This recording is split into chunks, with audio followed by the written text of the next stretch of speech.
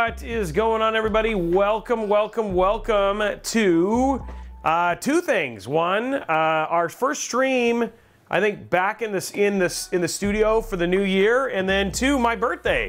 So I saw everybody wishing me a happy birthday. So thank you very much. Today we're going to be building a sub $900 modern part Intel Arc build, which should be a lot of fun as well. So let's let's talk about the parts we're putting in today's build, uh, and then we'll go from there as well. So first and foremost. Uh, we're going to build it on the platform that most people are looking at right now. Um, even though Core Ultra just got a shot in the arm with uh, their BIOS upgrades and stuff like that, it's still just not as impressive as what you're seeing out of the 9800X3D and soon to come 9950X3D. So we said, let's build it around the Ryzen 5 7600. So this is going to be the CPU we're going to build it on. It still is a 6 core, 12 thread. Uh, because we actually are on AM5, that means that you can upgrade all the way up to a 9950X3D. That would fit inside of a system like this. The motherboard supports it, all that sort of stuff. So kind of a really, really cool baseline uh, AMD system to kind of kick it off with right there. Now, we didn't, we didn't go nuts in terms of the board, uh, this is the MSI Pro Series. These are kind of some of our favorite around B650M-P board. Uh, it's, I mean, is it the nicest board? No, uh, but it does have DDR5 support, so you can do DDR5. Uh, it's got a 2.5 gig LAN. It's got Lightning Gen 4, so you do, you do have Gen 4. You have a couple of NVMe drives, so you could do up to 8 terabytes or 16 terabytes if you really wanted to of uh, storage on this stuff. For the RAM, uh, just because we're saving money, no RGB on this. No RGB on this at all. Uh, it's basically 32 gigs of DDR5 uh, at 6,000 mega transfer.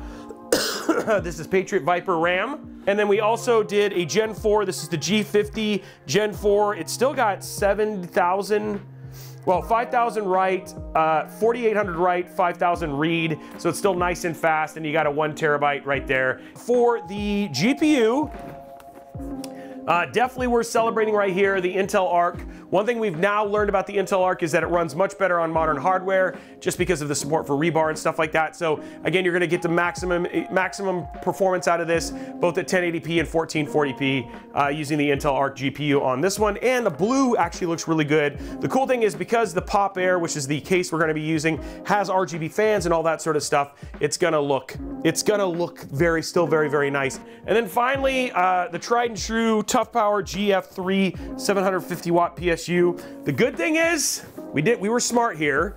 Um, we did actually include uh, the ability for the 16 pin. So if you wanted to upgrade to 40 series or 50 series later on, you absolutely could do this. Unfortunately, if you are want to go up to a 5070 or something like that, you are going to have to go to an 850 watt PSU. So if you're thinking about this and looking at this and being like, ah, should I spend a little bit of extra money? Go to the 850 watt version of this. That way you can do up to a 5070 or a 5070 uh, Ti um, if you absolutely wanted to. So going from there. So there it is right there, guys. That is all of the parts.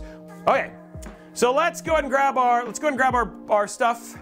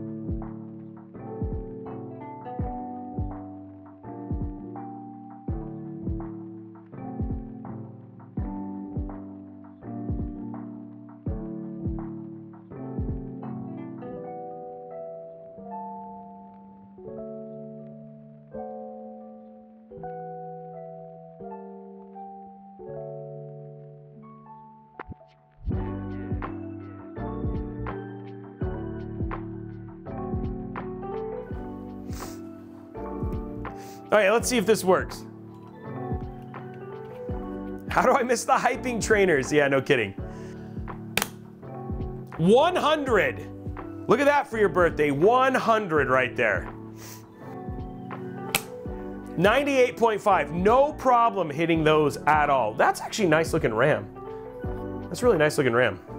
So luckily we're we're cranking here. It's actually going really quickly.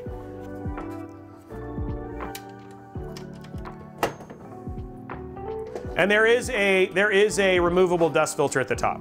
And it can do up to a 240 millimeter AIO, which means that 9800X 3D would be absolutely fine in this.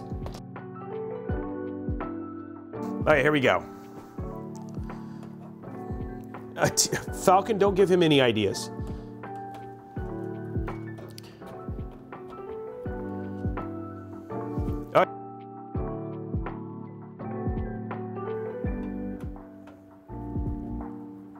Worth it.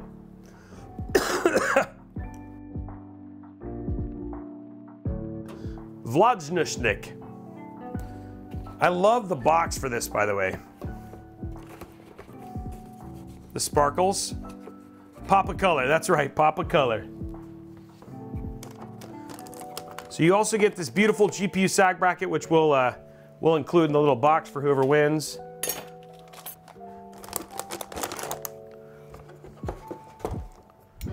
Because that's not cool. There we go. Look at that beautiful card. Okay, here we go.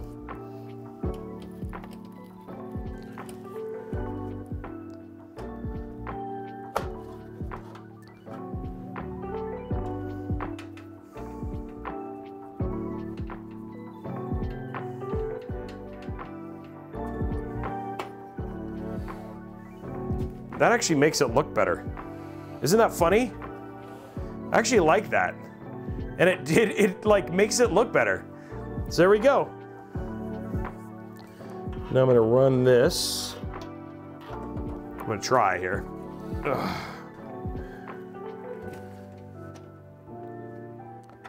There we go. So I'm gonna route.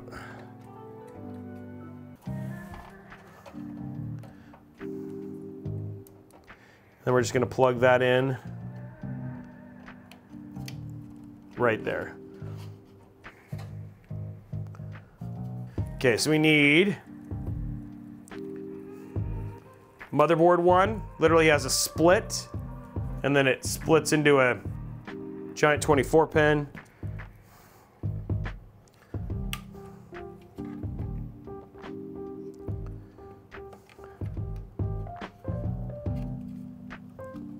There we go.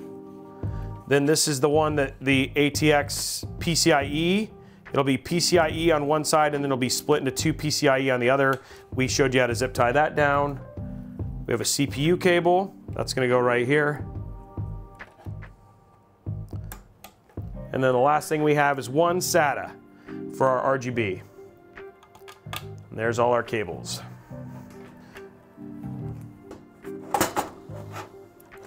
Slide that in. Ugh. Screw in all the screws. There's four. And watch it, it'll fail me. Nope, it actually worked.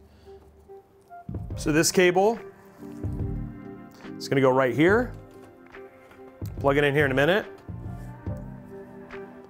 Plug it in right here. There we go. We're gonna take this cable and it plugs in right here at the top. There we go. Now we're just gonna tighten them all up. Nice clean. Okay, so let's get it put back together.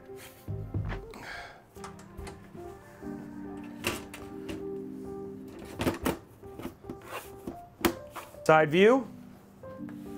Nice and clean looking. It's got that little pop of color, which is really cool. And then we're gonna grab our little front. And there you go. Build is ready.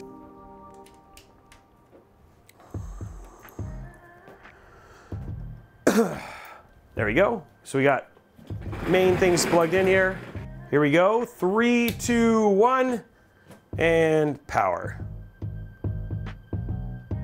There it is. I see lights.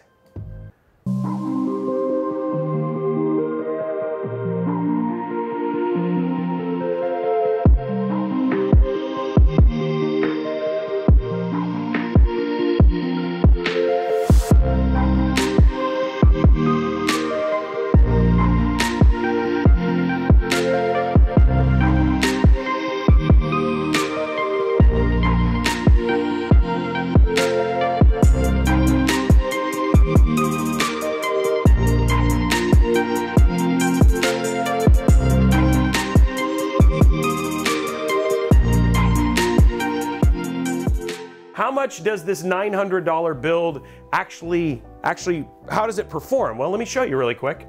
Here it is right here. Actually, uh, so kicking off right here. Here's our 1080p number, our 1440p numbers. Uh, Call of Duty Modern Warfare, you can just take a gander here. It performs quite well. We got 222 frames per second. Uh, if you want to do raw 100 frames per second, uh, upscaling 1440p on Fortnite, you're looking at 207. Uh, for Grand Theft Auto, it looks like raw and uh, upscaled are about the same, 140. Forza Horizon 5, 110 frames per second at 1440p. Uh, uh, Red Dead Redemption 2 is 104 or 85 raw. Starfield 104 or 71 raw. Cyberpunk 2077 62 raw or 90 frames per second at 1440p. Black Myth Wukong 98 uh, at upscaled or 65 raw.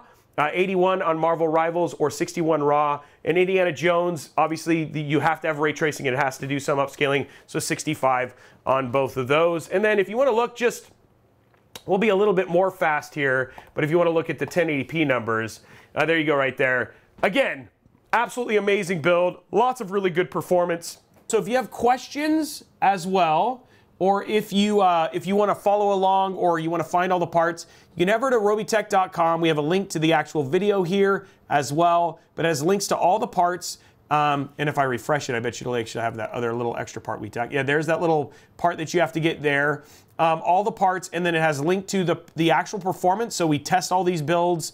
Uh, we have performance for both 1440p, uh, which you can actually see here, which it runs absolutely beautiful. We'll show a little bit today, uh, not a lot because I have to be careful of my voice. Um, but we show uh, performance for those numbers, and then you can also look here and see performance for 1080p as well. So we have 1080p and 1440p numbers. Um, and then, of course, here's a link to the actual video itself. Okay, let's check our temps here. Okay, so it's already lower by quite a bit. Nope, well, it's getting, no, it's still lower. And there it is. It's, see, it's sitting at 83. Okay. So there we go. So now it's running at 83. So 84, 85, that's much, much better. Yeah.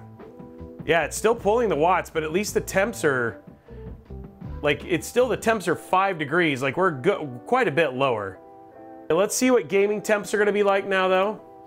For gaming, we're not gonna have any problems whatsoever. So let's go ahead and take a look at gaming. Cyberpunk and take a look at 1440p uh, Ultra and then take a look at it.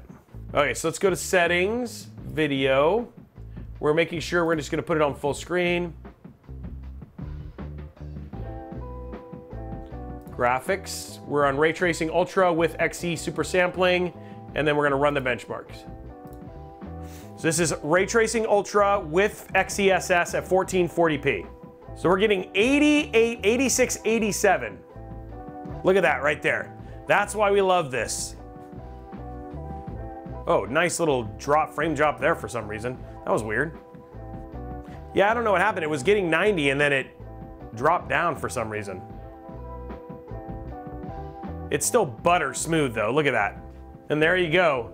We're at 69.23. This is the B580 uh, with the Ryzen 5. Okay, let's take a look at Indiana Jones real quick. Okay, let's take a look at this. So let's go to options. We are at, uh, let's go to 1440p. We have it on adaptive. We'll turn vertical sync off. Motion blur, depth of graphics quality. Let's have it on high. Oops, totally didn't add any of those. 1440p. And then we're at high. We're gonna turn off F, uh, turn off vertical sync. Okay, good, we're good there. And then they should put it up, there you go.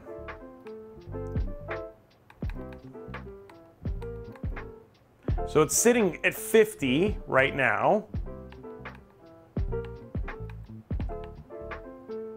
And this is at 100%. So here's 50 at high.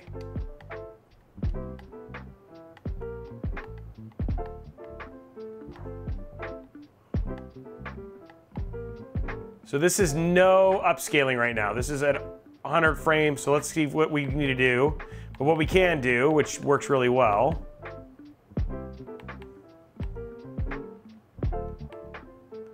is let's do dynamic.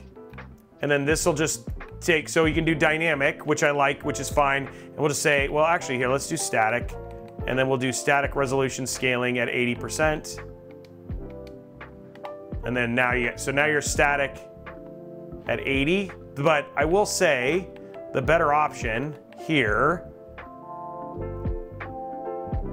is go to dynamic and then we'll just keep it at 60. Actually, we'll do 65. And then there you can go. You can see it's like a smooth 60 now. And this is high, ray traced, high ray traced Indiana Jones.